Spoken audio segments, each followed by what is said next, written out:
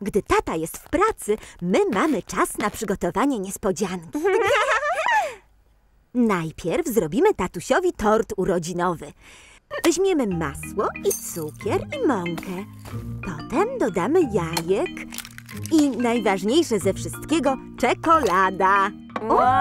Mama świnka robi ciasto czekoladowe, które tata świnka uwielbia. Trzeba wszystko wymieszać. Mamo, czy mogę wymieszać? Tak, Pepo?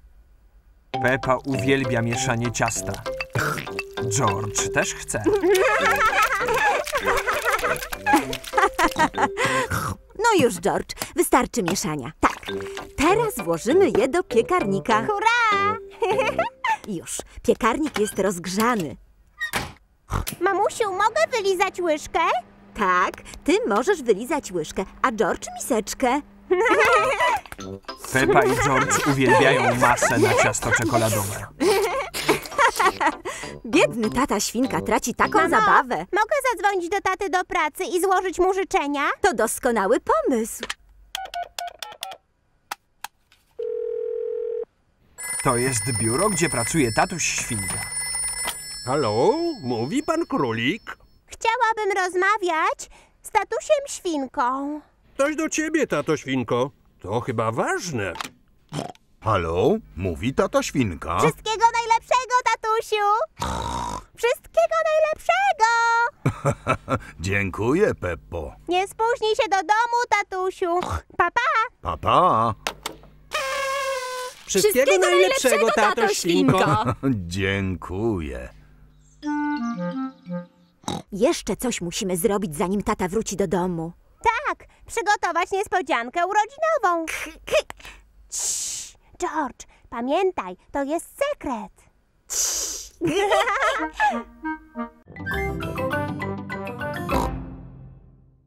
Papa Pepa. Pa!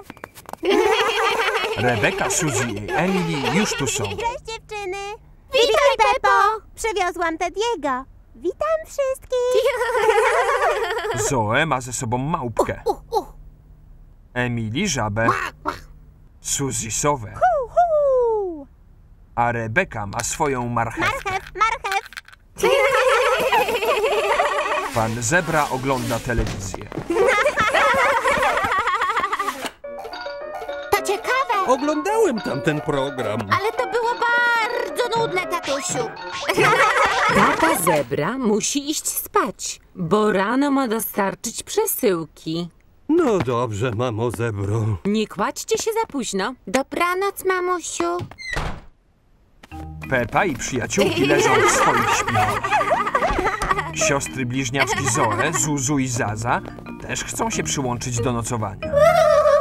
Takie nocowanie jest tylko dla starszych dziewczynek. Są takie malutkie i słodkie. Niech zostaną. No dobrze, ale musicie obiecać, że nie zaśniecie. Obiecujemy! Jej! Pianino! Uczę się grać.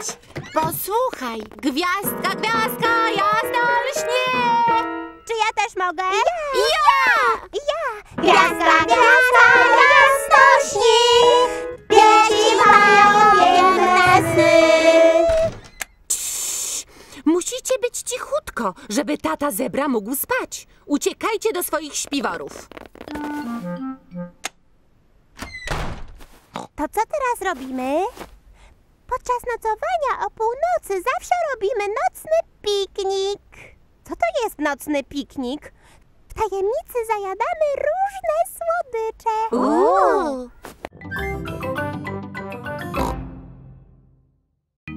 Pepa i George odpisują na zaproszenie.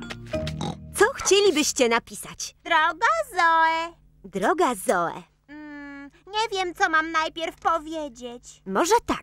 Z przyjemnością przyjdziemy na twoje przyjęcie ucałowania Pepa i George. Jaki kolor koperty wybieracie? Czerwony. Panna Zoe zebra. I jeszcze przyklejcie znaczek. List jest gotowy do wysłania. To jest skrzynka na listy. Są tu też Dany, Suzy, Pedro, Rebeka i Emily Swan. Wszyscy wysyłają listy. Jest też Pepa ze swoim listem. Już. I co dalej? Witajcie wszyscy. Witaj, Pepo. Dostałaś zaproszenie na moje przyjęcie? Tak, wysłałam ci list z odpowiedzią. Ojejku. Wielkie nieba, ale dzisiaj dużo listów. A ten czerwony list jest ode mnie. On jest bardzo, bardzo ważny. To do mnie? Mogę już otworzyć? Tak, jest dla ciebie, Zoe, ale musi zostać doręczony przez listonosza. Tak działa system pocztowy. O, Dzisiaj mam tak dużo listów do dostarczenia, że muszę się pospieszyć. Czy George i ja możemy pojechać z wami? Skakujcie, Pepo i George. Do zobaczenia. Pepa i George pomagają panu zebrze listonoszowi doręczać pocztę.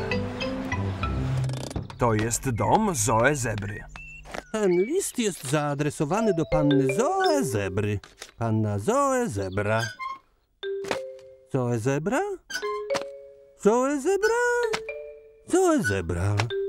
O, dzisiaj cała poczta jest dla Zoe. To jest list ode mnie. Czy mogę go doręczyć? Naturalnie. Pepa uwielbia doręczać listy. Kuku!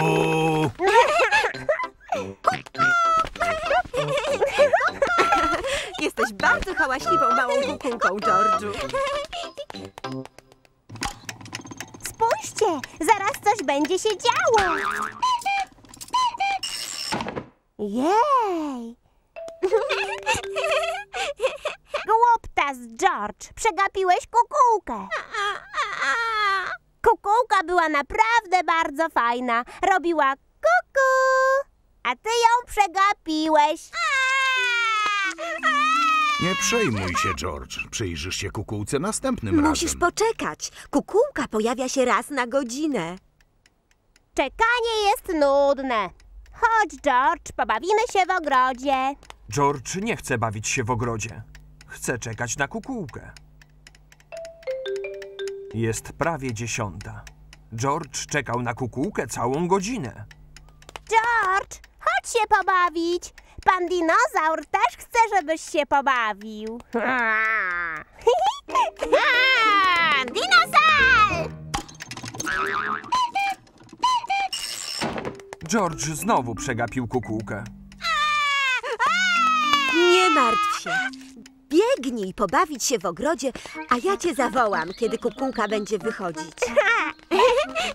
Łap go, George! Jest już prawie jedenasta. George'u, zobaczyć kukułkę. Szybko, George, bo znowu przegapisz kukułkę. George biegnie szybciej niż kiedykolwiek.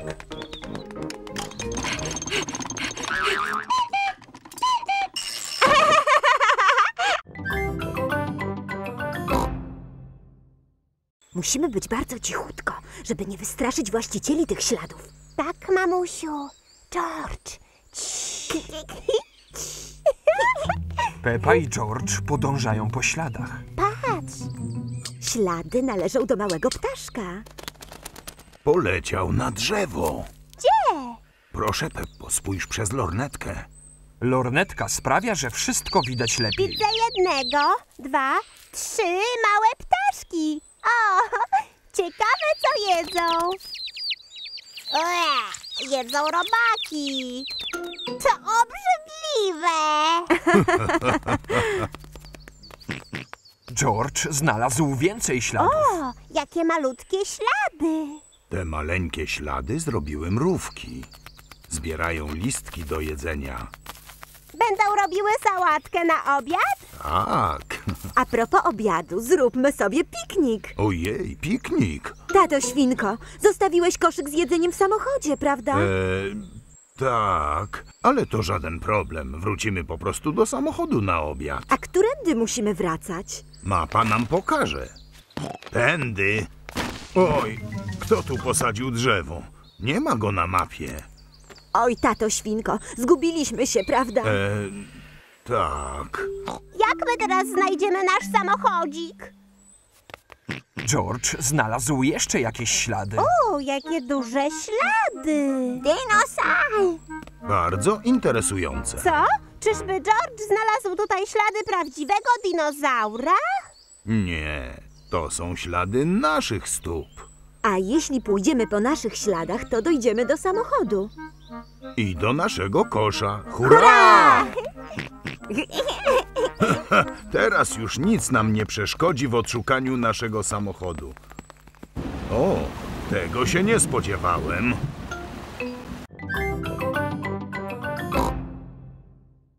Mamusiu, nie rozumiem, czemu mówisz tak śmiesznie? To francuski, Pepo. To znaczy, witaj, jak się masz?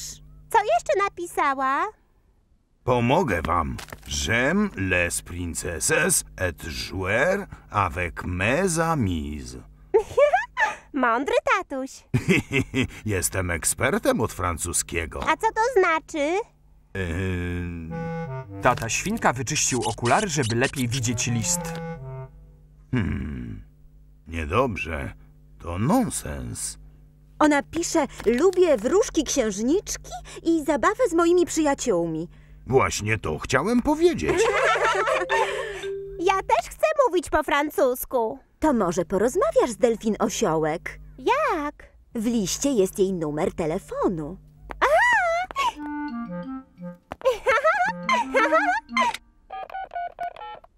Bonjour. Est-il possible que Peppa parle à Delphine? Mama świnka pyta, czy Pepa może porozmawiać z Delfin. Bonjour. Bonjour. Um, co mam dalej powiedzieć? Comment ça va? Comment ça va? pa! Au revoir. Au revoir. Co ci powiedziała? Mówiła po francusku. Bonjour, George. Comment ça va? Pepa zapytała się George'a po francusku, jak się ma. Dinosal. Nie, George. To nie tak się mówi po francusku. Tego ranka pan zebra listonosz dostarczył listy do domku Pepy. List. Hurra, prze... Tata świnka czyta gazetę. Co za cudowny dzień na lenistwo. Tata świnka uwielbia leniuchować. O, wielkie nieba, tato świnko. Nasz ogród wymknął się spod kontroli. Co masz na myśli, mamo świnko? Trawę, trzeba ją skosić. O, mnie się podoba. Taki dziki ogród. Mamo, tato, chodźcie się z nami pobawić w trawie. Proszę. Dobrze, pobawimy się piłką w kropki.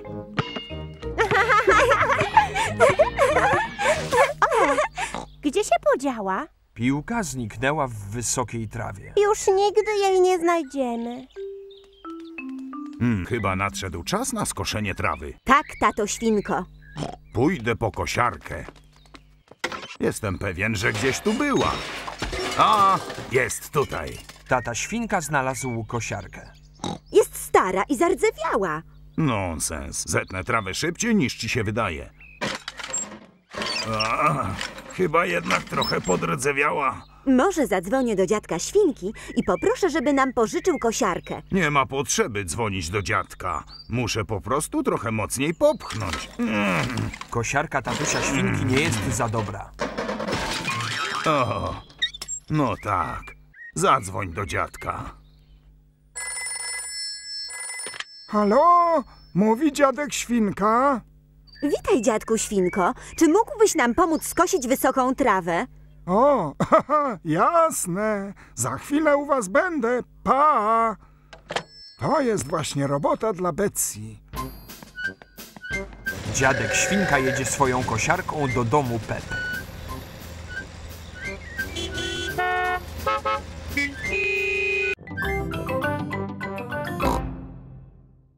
Witaj, Pepo. Myłaś dokładnie ząbki? Tak, doktorze Słoniu. Dobrze.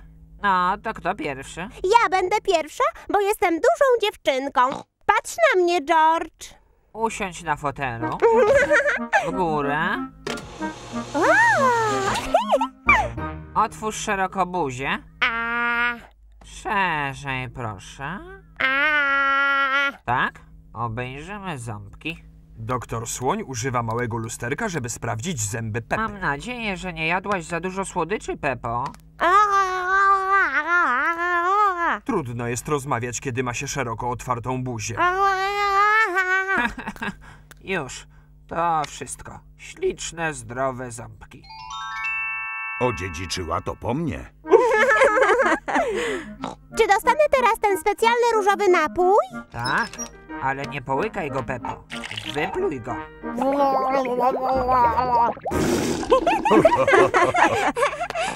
George, teraz twoja kolej.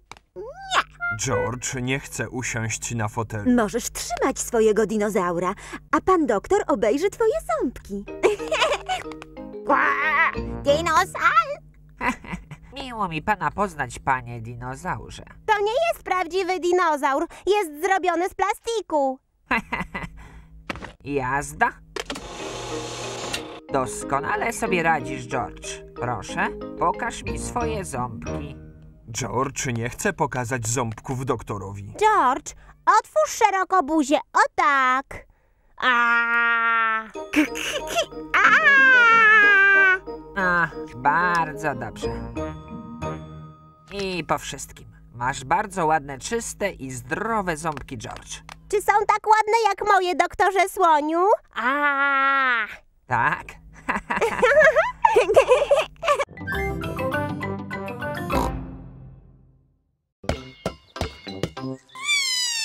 Pepo, dzidziuś jest za mały, żeby bawić się piłką. Jeśli on nie chce bawić się dinozaurem ani piłką, to co może robić? On tylko je i śpi.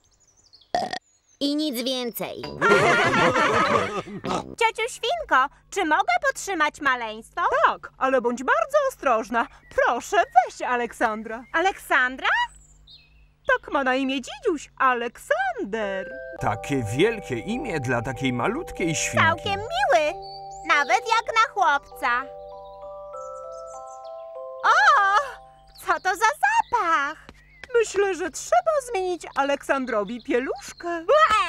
To okropne. Pepo, kiedy ty byłaś mała, też nosiłaś pieluszki. Wcale nie. Mamo, mogę się pobawić z Pepą i George'em w ogrodzie? Tak.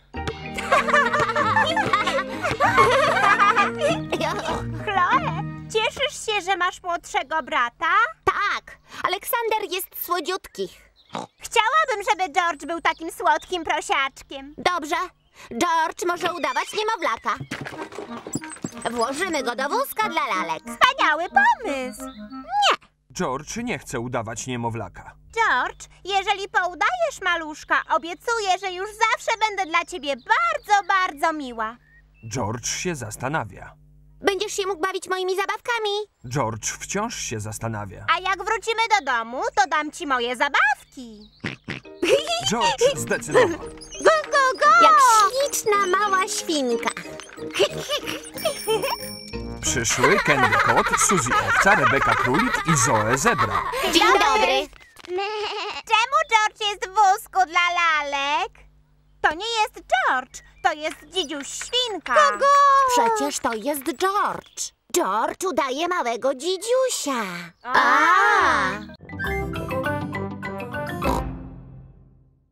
George jest troszkę za mały. Szybko zmęczą mu się nóżki. Ja jestem już dużą dziewczynką i nie zmęczę się.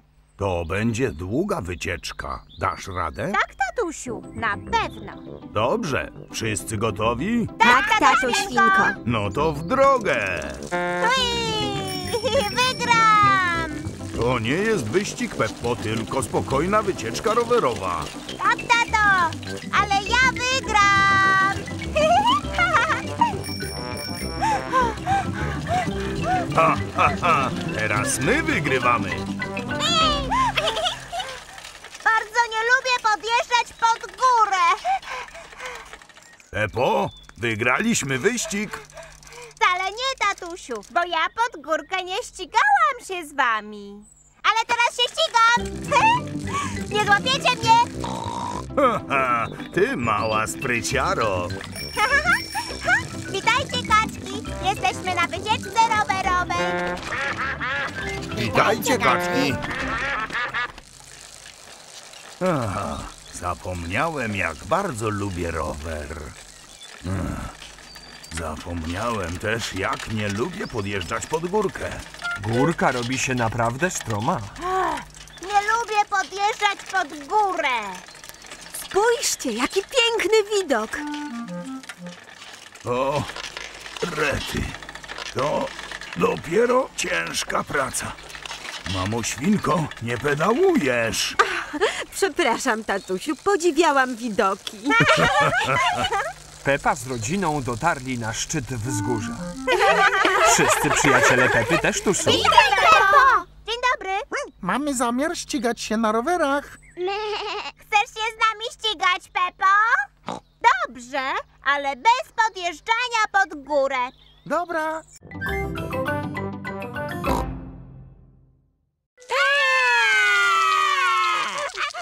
Co się stało? Dziewczyny nie chcą nas wpuścić do domku na drzewie. To nie w porządku. Haha, wiem jak wam pomóc, chłopcy. Chodźcie ze mną. Teraz możemy urządzić sobie spokojne i ciche przyjęcie herbaciane. Co to za hałas? Gotowe. Proszę, chłopcy. Macie teraz swój własny zamek i to ze zwodzonym mostem. Wspaniały. Dziękujemy, dziadku świnko. Czy możemy wejść? Nie, to jest męski zamek, tylko dla chłopaków. Uwielbiam takie zamki. Zamki nie są takie fajne jak domki na drzewie. Chodźcie, dziewczyny. Jestem królem na zamku. Każdy zamek musi mieć flagę. Oni mają flagę. Nie potrzebujemy głupiej flagi. Przyszła babcia świnka. Cześć, dziewczynki. Niczego wam nie trzeba. Chcemy flagę! I musi być lepsza od flagi chłopaków. Zobaczę, co da się zrobić. Jestem królem tego zamku. Oho, na każdym zamku powinien być telefon. Trzymajcie. Trzymajcie sznurek napięty, a będziecie mogły porozmawiać z chłopcami. Ale nie chcemy rozmawiać z chłopakami. A my nie będziemy gadać z dziewczynami. Babcia świnka znalazła flagę dla dziewczynek. Z sukienki będzie ładna flaga. Dziękuję, babciu.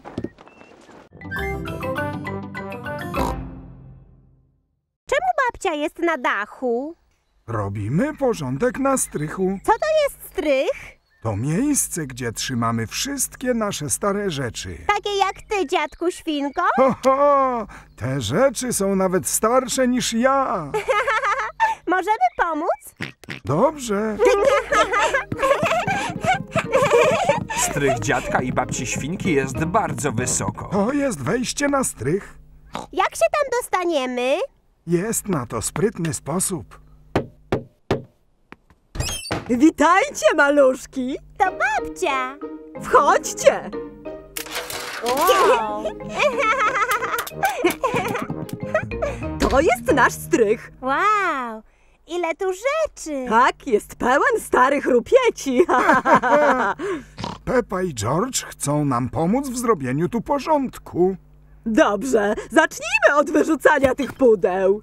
Aha, tylko nie te pudła. Czy są nam potrzebne?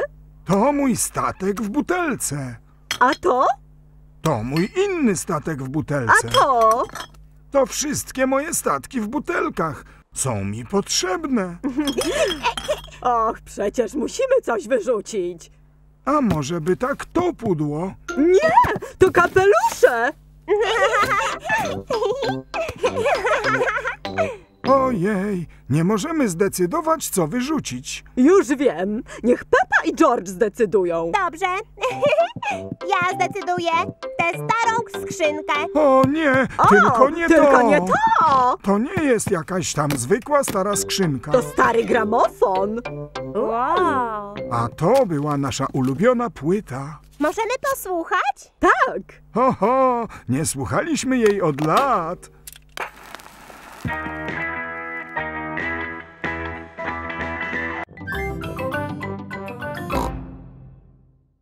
Ale troszeczkę brakuje mi Suzy.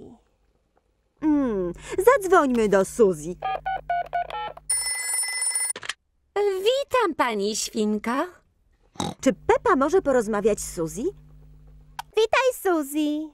Witaj, Pepo. Możemy być przyjaciółkami, jeżeli mnie przeprosisz. Przepraszam za to, co mówiłam. Nawet jeżeli naprawdę oszukiwałaś. Cóż, żałuję, że kiedykolwiek byłaś moją przyjaciółką. O, To bez znaczenia. Na pewno znajdę sobie jakąś nową przyjaciółkę. Jest śliczny, słoneczny dzień. Wszystkie dzieci są w przedszkolu. Dany pies jest na karuzeli ze swoim najlepszym przyjacielem Pedro Kucykiem. George jest na zjeżdżalni ze swoim przyjacielem Richardem Królikiem. Ojo, ojo. Suzy bawi się sama. Pepa też się bawi sama. Gra w minigolfa. Przyszła Emily Swan. Mogę spróbować? Tak. Emily, Suzy Owca już nie jest moją najlepszą przyjaciółką. Dlatego ty możesz teraz nią być. Moją najlepszą przyjaciółką jest Candy Kot. O. Zoe, jeżeli chcesz, możesz być moją najlepszą przyjaciółką.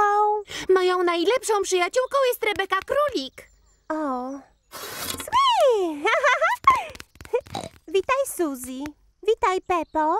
No dobrze. Widzę, że znowu jesteście przyjaciółkami. Nie jesteśmy przyjaciółkami. Już nigdy nie będziemy przyjaciółkami. Hmm, najwyższa pora, żebyście się przeprosiły. Peppo, powiedz przepraszam, Suzy. Powiem tylko wtedy, jeżeli mnie pierwsza przeprosi. Tylko jeżeli ona mnie przeprosi pierwsza. Już wiem, policzę do trzech i naraz nawzajem się przeprosicie. Dobrze?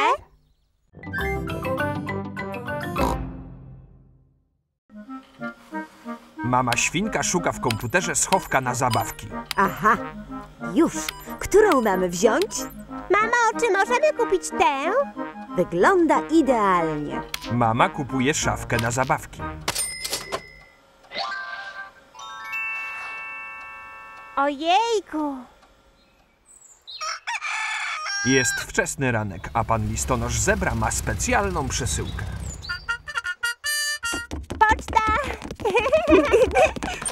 Specjalna przesyłka dla panny Pepy i panna George'a. Co to jest? Szafka na zabawki. O, wygląda trochę płasko. Tak, trzeba ją złożyć. O, Nie martw się, Pepo. Twój tatuś i mamusia bardzo łatwo sobie z tym poradzą. Do widzenia. Do widzenia. co teraz robimy? Teraz złożymy szafkę na zabawki. Tak.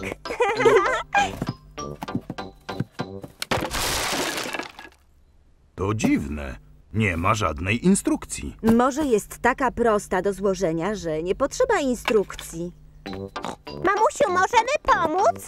Tak, najpierw potrzebuję półki. Jest zielona półka. Dziękuję, Pepo. Teraz potrzebuję czterech nóg.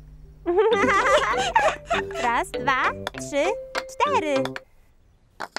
Cztery niebieskie nogi, mamusiu. Świetnie, złożymy ją bardzo szybko. Tu masz czerwone drzwiczki. Dziękuję, tato świnko. No, gotowe. Brawo, mamo świnko. Jest bardzo malutka. Jak tam się zmieszczą wszystkie nasze zabawki? Faktycznie trochę mała. O, George ma jeszcze jeden kawałek. O, może to jakaś dodatkowa półka.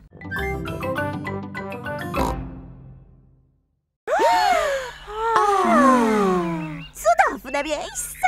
No, bierzmy się do roboty. Pepa i przyjaciele rozkładają swoje namioty. Dzieci, każdy musi wybrać sobie partnera, z którym będzie mieszkał. Suzy, zamieszkamy razem? Obiecałam, że zamieszkam z Zoe. O, Wybacz, Suzy, ja umówiłam się z Rebeką. Rebeko, miałaś zamieszkać ze mną. a tak. Emily, a ty z kim miałaś mieszkać w namiocie? Um, z Zoe. A dobrze. Dobrze, to ty możesz mieszkać ze mną. Dobrze. Teraz nazbieramy chrustu, żeby rozpalić ognisko. Nazbieramy patyczków. Ja i Pedro chcemy zbierać drewno. Haha, wszystkie dzieci mogą zbierać drewno. Dzieci zbierają drewno na ognisko. Doskonale. Nadeszła noc. Pepa i przyjaciele siedzą przy ognisku. Dzieci, zaśpiewajmy teraz piosenkę. Tak! Chcemy śpiewać dzyń dzyń. No sama nie wiem. No dobrze. O, niech płynie ta pieśń, skoro dzieci tak chcą. Raz i bim, raz i bam, raz i bom. Bum, bim, bum, bim, bum, bim, bim, bum, bingli, bangli, bum. Bum, bim, bum, bim, bum, bum, bim, bum, bingli, bangli, bum. O, no dzieci, już pora spać. Dobranoc, dzieci. Dobranoc, pani Gazelo.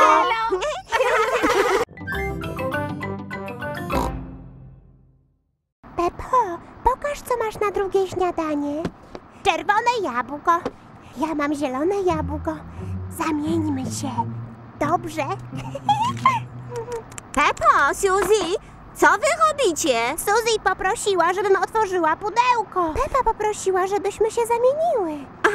no dobrze, ale proszę, zostawcie sobie coś do jedzenia na piknik. Tak, pani Gazelo. pani Gazelo. Autobus podjeżdża pod górę. Górska droga jest bardzo kręta i stroma. Dalej, autobusiku, dasz radę! Dalej, autobusiku!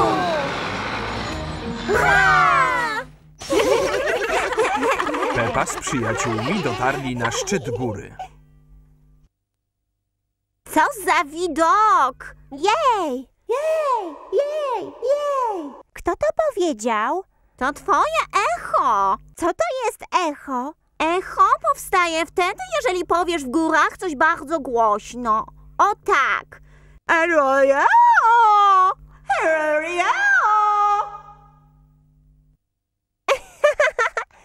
Eroja! Eroja! Jodejo! Jodejo! Jodejo!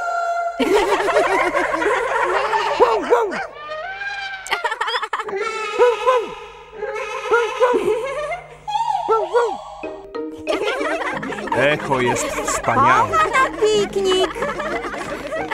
Pepa uwielbia pikniki. Wszyscy uwielbiają pikniki. A gdzie są kaczki? Zawsze przychodzą, kiedy urządzamy piknik. Peppo, głuptasie, kaczki nie mieszkają na szczytach gór. O, Witaj, pani kaczko. Chcesz trochę chleba? Kaczki są dzisiaj bardzo zadowolone. Dostaną dużo chleba.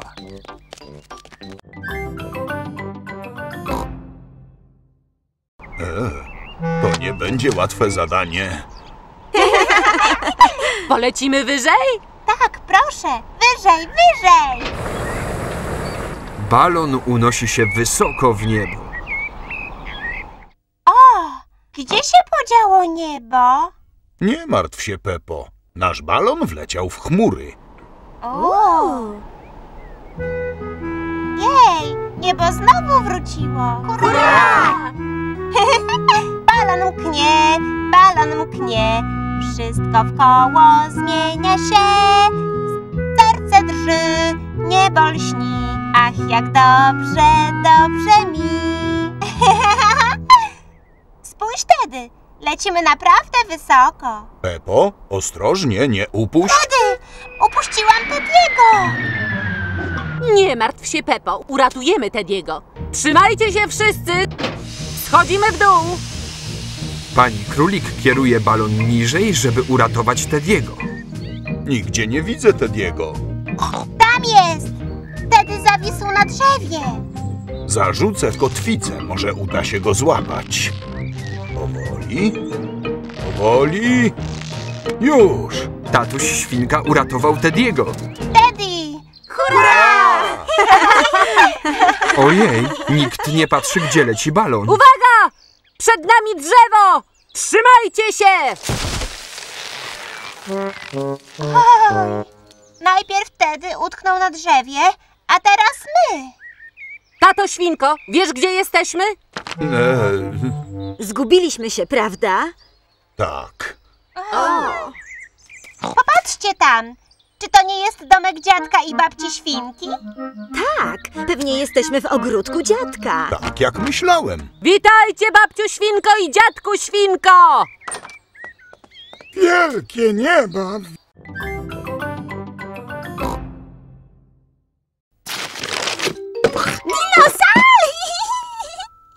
Byłam pewna, że to będzie jakiś dinozaur. Ściśnij jego brzuszek. Przerażający! George, zrobiłam dla ciebie kartkę urodzinową. Czy zgadniesz, co to za obrazek? George nie wie. Chciałam ci namalować obrazek kwiatka. George nie lubi kwiatków. Ale w końcu zdecydowałam, że... To prześliczny obrazek, Pepo. Tak, ja bardzo ładnie rysuję.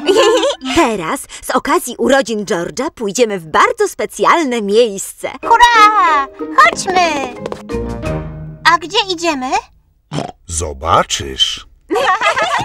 Cała rodzina przygotowuje się na świętowanie urodzin George'a.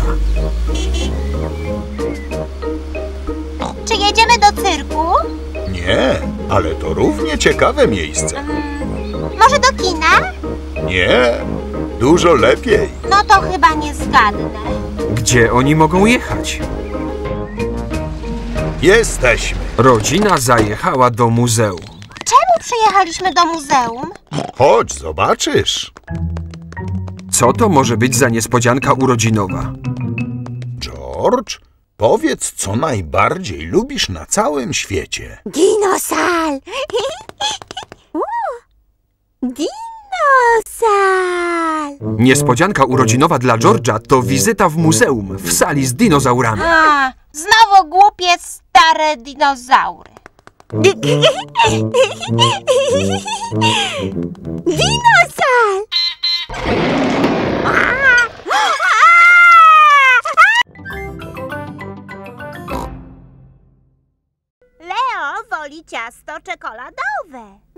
Ciasta czekoladowego. Może Leo zje z owocami. Ha! Mówi, że spróbuje maleńki kawałek. Mama świnka dała kawałek ciasta niewidzialnemu przyjacielowi Suzy. George bawi się panem dinozaurem. Dinosal! Ha!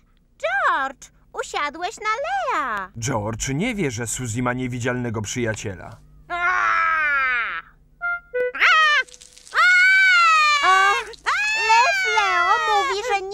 Ochoty na ciasto i może je oddać George'owi. Pobawimy się teraz na górze? Tak, pobawmy się w przebieranki. Zapytajmy lwa Leo. O. Leo mówi, że lubi bawić się w przebieranki. Dobrze, chodźmy, Leo. Pepa i Suzy bawią się w przebieranki. Pepa chce być wróżką. Dostaniesz jedno życzenie. Nie chcę. Chciałabym być królową Suzy, a twój Leo Lew zostanie błaznem. Leo Lew nie chce być błaznem, on chce być królem. Przyszedł tata świnka. Mama świnka powiedziała mi, że mamy niecodziennego gościa. Tylko Suzy, tatusiu. Jesteś pewna, że nie ma tu nikogo więcej? Jest tu jeszcze ktoś. Król Leo Lew. To zaszczyt poznać pana króla Leo. Tata świnka udaje, że widzi króla Leo. Ależ ma pan przepiękną złotą grzywę. Tak, jest przepiękna. Ma też swoje najlepsze czerwone spodnie. To tak. I niebieski sweter. To ty, Pepa. Leo nie ma na sobie niebieskiego swetra, tylko najlepszą zieloną koszulę. Cóż, jest zielono-niebieska.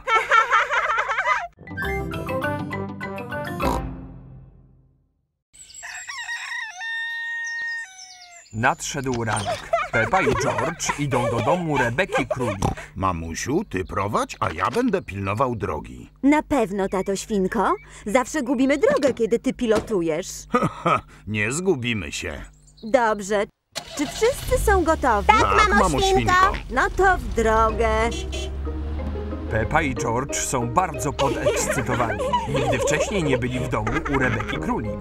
Tatusiu, daleko jeszcze? Według mapy dom Rebeki znajduje się za tym wzgórzem. Nic nie rozumiem. To tutaj powinna mieszkać Rebeka. Zgubiliśmy się. Tu jest tylko ogródek z marchewkami. Gdzie może być dom Rebeki? Witam wszystkich. Rebeka, czy chcesz się pobawić w moim pokoju? W twoim pokoju? Ale gdzie jest twój dom? Pepa nie widzi nigdzie domu Rebeki. To wzgórze to nasz dom. Nazywamy go Norką. Wow. Zapraszam. Do zobaczenia. Do zobaczenia. Chodźcie. My nie mamy schodów, tylko tunele. Wow. Dom Rebeki jest zupełnie inny niż domek Pepy. To nasza sypialnia. Jej! Masz łóżko i okno i pudło na zabawki, tak jak my. Oczywiście. Podoba mi się twój domek. Też bym chciała być królikiem. Rozumiem. Czy chcecie się nauczyć, jak być królikami? No pewnie. Najpierw musicie zmarszczyć noski i zapiszczeć. O tak. Squeak, squeak. Squeak, squeak.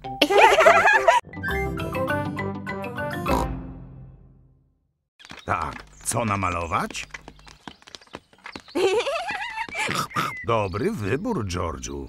Namaluję stare drzewo wiśniowe. A to co? To są sztalugi, Peppo. Podtrzymują Co płótno. to jest płótno? To coś jak papier, tyle że do specjalnego malowania. Czy to pasta do zębów? Nie, Pepo, to specjalne farby dla dorosłych artystów. No, od jakiego koloru zaczniemy? Od czerwonego. Dlaczego czerwony? Bo czerwony to mój ulubiony kolor. Najpierw musimy namalować niebo. Spójrz, jaki to kolor? Niebo jest niebieskie. Doskonale. Zacznijmy od niebieskiego. A teraz potrzebujemy zielonego koloru na listki. Ale tu nie ma zielonej farby. Nie szkodzi. Jeżeli zmieszamy niebieską farbę z odrobiną żółtej, to wyjdzie nam zielony. Wymieszanie niebieskiego z żółtym daje zielony. Jakie śliczne zielone liście. I jeszcze trochę trawy. A co z gałęziami? Nie mamy brązowej farby. Zrobimy brązową. Pomieszamy zielony z czerwonym. Zielony z czerwonym daje brązowy. Tata świnka maluje pień drzewa i gałęzi. Tatusiu, mogę namalować wiśnie? Tak, Peppo. Zanurz palec w farbie i namaluj na drzewku. Raz, dwa, trzy. Doskonale. Teraz kolej George'a. Jesteś świetnym malarzem, George'u. Proszę, obraz gotowy. Hurra! O, przyszły kaczki.